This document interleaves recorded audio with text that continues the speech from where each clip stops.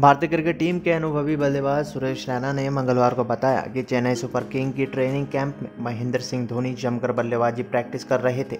मार्च के पहले हफ़्ते में शुरू हुए चेन्नई के कैंप और कोरोना वायरस संक्रमण बढ़ने की वजह से स्थगित करना पड़ा। इन दिनों सवाल ये, यही है कि अगर इंडियन प्रीमियर लीग नहीं हुआ तो धोनी के भविष्य का क्या होगा?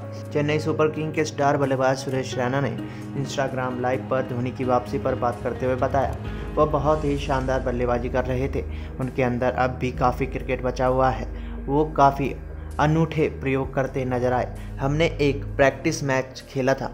वो छक्के जो उन्होंने लगाए, वो उतने ही लंबे थे जैसे धोनी के हुआ करते थे। शाम को लगातार तीन घंटे बल्लेबाजी करना, वो भी चेन्नई की गर्मी में आसान नहीं होता। हमने यहाँ उस कैंप में ऐसा किया। अगर आप मुझसे पूछे तो माही भाई बहुत ही शानदार बल्लेबाजी कर रहे हैं। विश्व कप विजेता कप्तान की उम्र पर सवाल उठाने वालों को रैना ने करारा जवाब देते हुए इसे मन की बात बताई। रैना ने कहा, उम्र बढ़ने का कोई भी असर उनके शरीर पर बिल्कुल भी नहीं है। वो एकदम से ही अलग नज़र आए।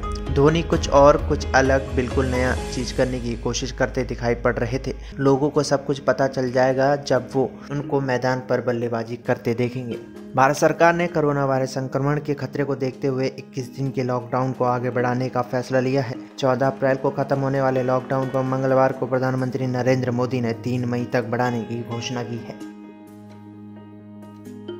एल न्यूज़ रूम की रिपोर्ट।